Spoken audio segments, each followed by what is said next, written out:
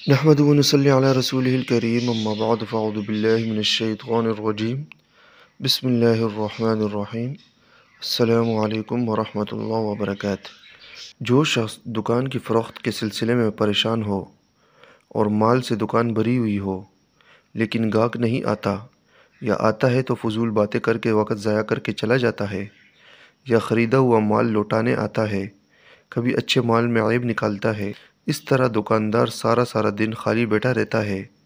घर का खर्च चलाना मुश्किल हो जाता है। इसके लिए ये नक्श जो आप अपने मोबाइल की स्क्रीन पर देख रहे हैं बावजू लिखें और काले कपड़े में मोम जमा करके गुल्लक यानी गले में डाल दें, जहाँ पैसे रखते हैं, पैसे रखने का डब्बा हो, उसमें रख दें तो इन बहुत बरकत होगी। दोस्तों, बहुत ही मुजरब अमल है। ज़बरदस्त और बहुत ही लाजवाब अमल है। इसके साथ आपने एक वजीफ़ा भी करना है, मुख्तसर सा। जब भी आप दुकान खोलें तो सूर्य अखलास तीन मरतबा पढ़कर दाखिल हों दुकान में। और दुकान में जब आप दाखिल हों, शटर उठाएँ या इसका दरवाज़ा खोलें तो असलकम वरहमतुल्लाहि वबरकत कहने के बाद तीन मरतबा सूर्य अखलास पढ़ें।